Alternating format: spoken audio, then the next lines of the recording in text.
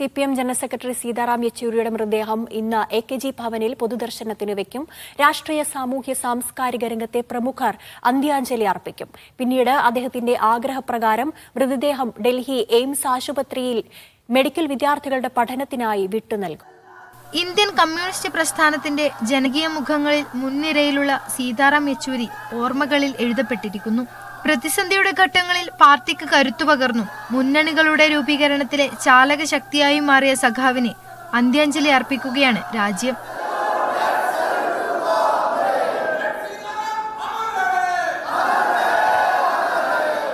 ഇന്ന് വസന്ത് കുഞ്ചിലെ വീട്ടിൽ നിന്നും പാർട്ടി ആസ്ഥാനത്ത് എത്തിക്കുന്ന മൃതശരീരം പൊതുദർശനത്തിന് വയ്ക്കും. ഇന്നലെ വസതിയിൽ നിരവധി പ്രമുഖരാണ് അന്ത്യാഞ്ജലി അർപ്പിച്ചത്.